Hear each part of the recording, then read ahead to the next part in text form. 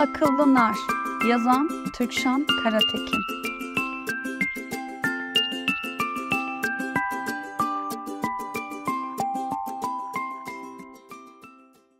Meyve uzay üstünde tüm meyveler her zamanki gibi görevlerini yerine getiriyormuş. Meyve üstünün komutanı akıllı narmış. Meyveler iri gövdesi, sert kırmızı kabuğu ve sulu taneleriyle akıllı nara saygı duyarlarmış. O gün meyve uzay üstüne dünyanın dört bir yanından acil çağrılar gelmiş. Mikroplar dünyaya saldırıya geçmiş. Mikroplardan ilk önce çocuklar etkilenmiş, hastalanıp yatağa düşmüşler.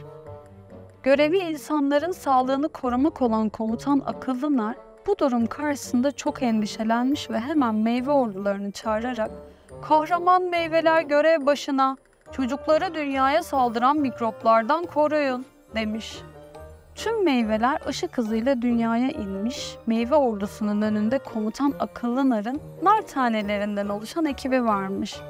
Bu ekip hem çok güçlü hem de çok hızlıymış.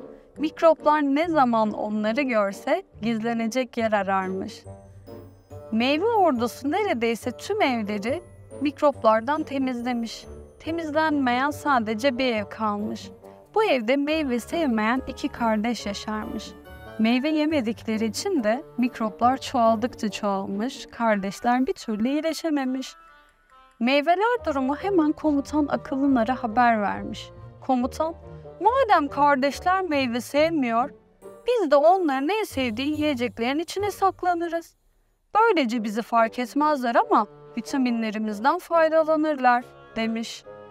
Komutan akıllı nar bu görevi nar ekibine vermiş. Nar taneleri önce evde taze sıkılmış meyve sularına karışmışlar. Sonra tatlı ve yoğurtların içine gizlenmişler. Bazen de salatanın üstüne yerleşmişler. İki afacan yiyeceklerin tadında değişiklik fark etmiş ve bu yeni tatları çok sevmişler. Her gün annelerinin hazırladığı taze meyve sularını lıkır lıkır içmişler. İki kardeşteki mikroplar nar taneleriyle karşılaşacaklarından habersiz keyif çatıyorlarmış. Nar taneleri birden ortaya çıkmış ve mikroplara saldırmış. Onlar kaçmış, nar taneleri kovalamış. Diğer meyveler de nar tanelerine yardıma gelmiş. Mikroplardan kurtulunca iki kardeş çabucak iyileşmiş. Doktora gitmeden nasıl iyileştiklerini merak etmişler. Çünkü hasta olduklarında hep doktora gidip ilaç almaları gerekirmiş. Komutan akıllı nar işin sırrını anlatmaya karar vermiş. Size küçük bir oyun oynadık. Güçlü ve hızlı nar tanelerim sizden gizli yemeklerinizin, içeceklerinizin arasına karıştı. Sonra da diğer meyvelerle birlikte sizi hasta eden mikropları vücudunuzdan kovdu. Böylece hızla iyileştiniz. Sevgili çocuklar, tadımız bazen ekşidir, bazen tatlı. Çekirdeklerimiz vardır, çıkarması zor. Kabuklarımızı da soymak yorucu. Ama unutmayın ki biz meyveler size mikroplardan koruyan birçok vitamin ve minerale sahibiz. Gelişiminiz için bizi ve diğer meyveleri sofranızdan eksik etmeyin. Söz mü? Söz diye bağırmış iki kardeş. Komutan akıllı narın kim olduğunu ve nereden seslendiğini bilmeden.